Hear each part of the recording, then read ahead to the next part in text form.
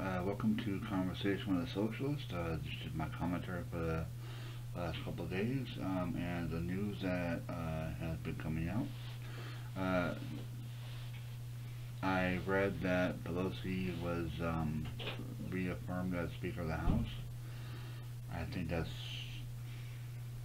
I think that's a mistake because Pelosi has proven to not be as no more a leader than Debbie Wasserman Schultz was.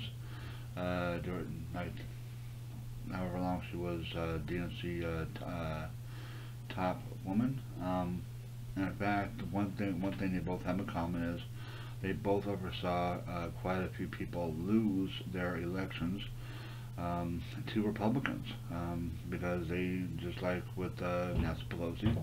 Um, Mitch McConnell had a a moderate Democrat to go against, and he he whooped her butt. Pelosi had a um, supposed progressive, um, and she whooped his butt. Um, Chuck Schumer will be having a Green Party candidate against him, and uh, at Kate at, at Congress Kate uh, Kate uh, uh, Tomasello, New York, obviously. Um, look her up as far as the part goes. Uh, also, uh, in case you didn't hear uh, my podcast, which you should, that's uh, anchor.fm slash Convoy Socialism, I spoke with Justin Paglino out of Connecticut, who ran for U.S. Senate November 3rd of this year. he lost that, um, but he is, but he he said gave me an exclusive and said that he was running again in 2022. I asked him during that same interview if during this time, just so he can get his name out uh, more, uh, if he was going to help out other Green Party who uh, may be um, running in 2022. Um, and I believe he said that he was uh, going to probably do some to that effect. Um, I think that every uh, every Green Party that lost their prospective elections should go around and not only because it would help other Green Party members who are going for elections in 2022, but also it would uh, up their own stock. Um, because the more uh, Green Party uh, membership uh, and candidates are seen and heard, and the message is out there for people to hear and people to accept, or people to at least research it, um, the more likely that the name recognition will be built up, the more the message will be out there and built up, the more um, more likelihood of of a of a, a DNC and the RNC taking the Green Party more seriously, other than trying to keep them off of the ballot bo ballot box or out of the ballot box. Excuse me. Um, we also need to make sure that Green Party or Green Choice voting, I should say, Green Choice voting as a whole need to be implemented and on the ballot and voted in every state in this union. And if you want free, fair elections, um, ranked choice voting or something of that of that ilk uh, is the only way that's going to happen. Uh, Maine had it for not only for the presidential but also for their uh, Senate or yeah um, down ballot. Uh, it doesn't matter who won in regards to that because obviously we didn't as far as the part goes. Uh, I'm not an official Green member, but I support them obviously. I support socialists obviously. Um, I say them a lot, but that's the point. Um, is I wanted to uh, go go through what socialism is in a business sense because uh, courses pretty much uh, lumenlearning.com has uh, socialism, and uh, basically it has uh, the key takeaways, what, what, you get from it, and um, I think, let me go down here if I can. Let's see, all the way down, uh, learning objectives, key takeaways, and stuff of that nature. I think it's, um, where is it? Uh, there's like a there's like a a T thing to it that like uh, what is better what about capitalism is better than you know than socialism sort of thing. But anyway, um, so key takeaways. I I've done it before, but it's been a while since I've done it, so I'm going to do it again. and I'll probably keep doing it as far as the part goes until midterms. So, anyway, uh, planning economy is a type of, again, it's key points, and I believe this is socialism. A planned economy is a type of economy consisting of a mixture of public ownership of the means of production and the coordination of production and distribution through state planning. Socialism has many variations depending on the level of planning versus market power, the organization of management, and the whole and the role of the state. In socialism, in a socialist system, this is important, production is geared towards satisfying economic demands and human needs. Distribution of this output is based on the individual contribution. Socialists distinguish between a planned economy such as one of the former Soviet Union and the socialist economies. They often compare the former to a top-down bureaucracy capitalist firm. Another key, uh, another key term: socialism. Any of any of the various economic and political philosophies that support social equality, collective decision making, distribution of income based on a contribution and public ownership of production capital and natural resources as advocated by a socialist. Planned economy.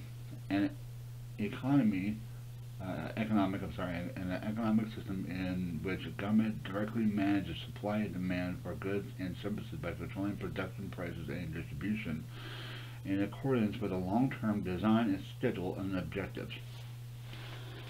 Now, here's another thing.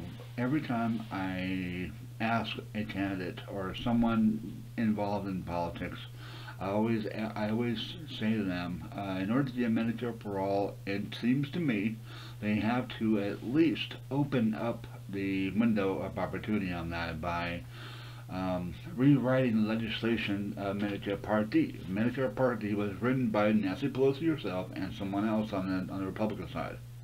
It basically the basic takeaway from that is the government is not is not in any position to renegotiate down prices of pharmaceuticals.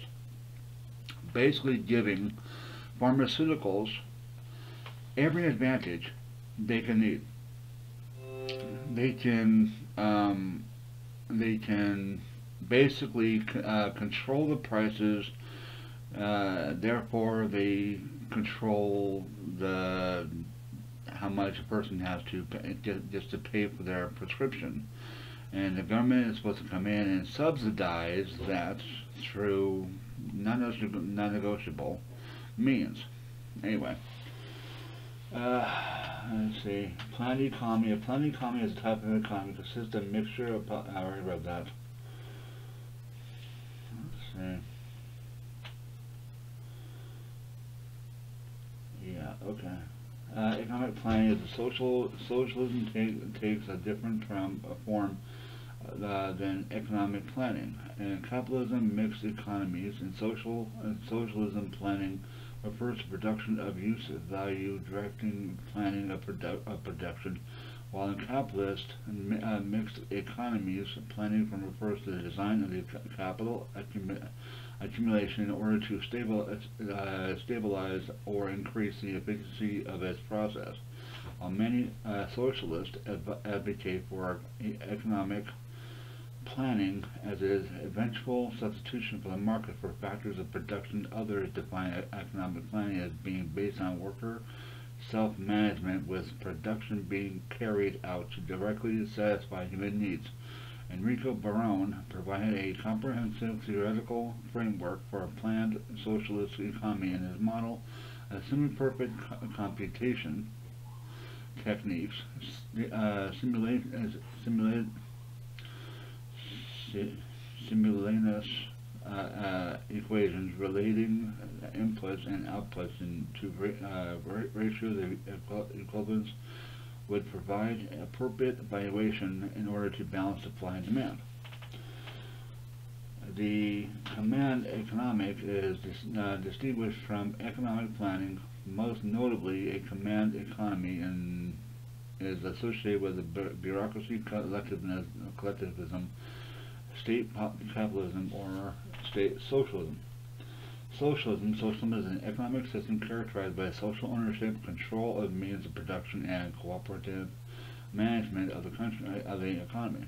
A socialist economy system would consist of organization of production to direct uh, directly satisfy economic demands and human needs, so that goods and services would be produced directly by the use instead of for private profit, driven by the accumulation of capital.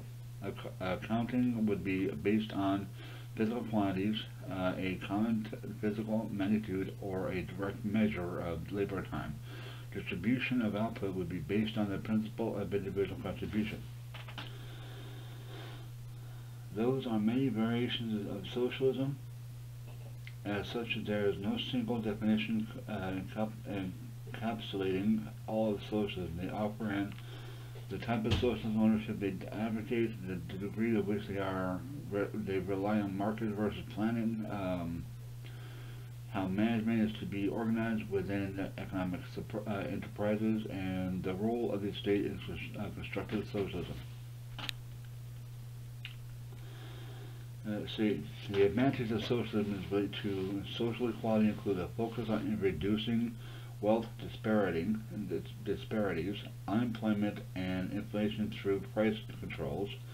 Advantages of socialism related to economic planning, including an ability to make good use of land, labor, and resources, as well as avoiding excess or insufficient production. And benefits of socialism, nationalization of key institutions, redistribution of wealth, and social security schemes, minimum wage, wages, unemployment protection, and trade union organization rights. Key terms. Public benefits. A payment made in accordance with the insurance policy or public assistance scheme. Redistribution. The act of change and distribution of resources. So basically, instead of having capitalists or big business or, you know, say Jeff Bezos owning everything, under a socialist um, economy, uh, with progressive taxes, more uh, the more of the uh, labor force would benefit from those taxes that they pay into the system. Um, but with the tax rate right now, like say for instance, I've been looking this up more and more. Um, places like the Netherlands that Bernie Sanders used to, uh, well, he used to love to uh, uh invoke uh, Norway. Um, Netherlands have a 58% tax rate. Under that same rate, everybody in uh, the Netherlands uh, get uh, free basic health care and free basic education. Uh, the only portion of the educational system you have to pay for is if it's a private school. There, they can charge however much they want in regards to tuition. But even their minimum wage is like um well to them eight bucks an hour is like our like 25 bucks an hour something like that. That's that's pretty much if you look uh, eight dollars compare eight dollars in their money compared to USD that's about right. So you come here you work here you pay taxes there you you get pretty good in regards to what you get back from over there so I think we should really look into a socialist slash capitalist market. That's my point of view. And from what I could see, um, actually Netherlands, uh, someone I've been watching a little bit, said that the Netherlands is indeed a socialist country because the majority of the things that come out for people from taxes are is basically socialist policies, socialist statutes, social, uh, social, uh, socialist um, federal law. I mean, uh, you, yeah, I mean, you can look it up yourself. You don't have to go with the Venezuela, the Cuba, that bullshit. You can look it up yourself on uh, or look at the noun version of socialism. That's actually the policies, that's actually the laws that would be in place for such a system.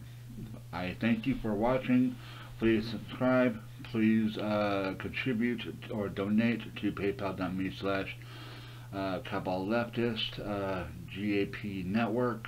Um, follow me on Instagram, on on um, um, uh, subscribe to YouTube. Sorry, subscribe to YouTube. Uh, YouTube.com uh, slash user slash J E R A L T A Y L O R. Uh, you can follow me on Twitter as well. Anyway, I thank you for watching. Um, I hope you enjoy this bonus. This is the first bonus I've actually done for this channel. Um, and look for me also on Change the System Network. Uh, I have like at least six videos up there already. So, but I appreciate you watching. I hope you like my content, and I hope you uh, share this, tweet this, um, support this in any way you can. I thank you very much, and I hope you have a good night. Peace out for now.